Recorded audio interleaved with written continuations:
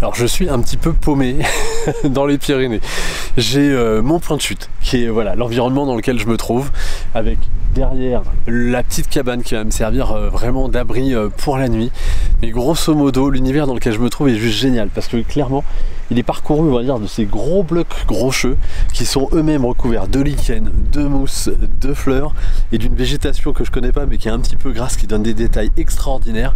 Avec en plus, en arrière-plan, voilà, je vous montre ce type de choses. Vraiment, avec en plus vraiment la sur le gâteau, c'est les nuages qui sont derrière. Et ça, ça va me permettre vraiment d'avoir différents plans de lecture dans mon image. Je suis en train de faire du HDR et du bracketing. Bienvenue dans ce nouveau vlog et bienvenue dans cette nouvelle aventure.